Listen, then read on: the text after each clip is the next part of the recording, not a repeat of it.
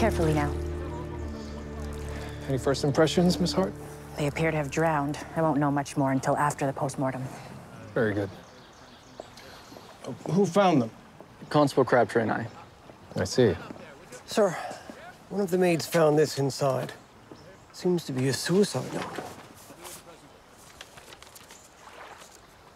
To our darling daughters, we are sorry your mother and I have become exhausted by our constant dissatisfaction and can take no more. Signed by both Franklin and Louise Westerbrook. A double suicide, then. Let's not jump to conclusions too quickly.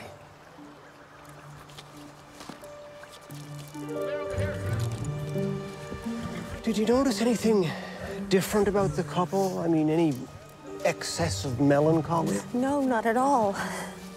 But then you only started working a couple of weeks prior to today. Well, yes. I've heard that Mrs. Westerbrook was a difficult woman, but I simply think she had high standards. So you enjoyed working for them? I did. Do you think anyone had animosity towards them? Oh, I'm not one to know that. I do know that they were very extravagant in their wealth. That must ruffle some feathers. So you believe the burglar might have known the Westerbrooks? Everyone knew that they had money. Certainly appears something was taken. Hmm. We'll have to check this area and the butler's pantry for finger marks. I've instructed the constables. Do you think this burglar killed the Westerbrooks?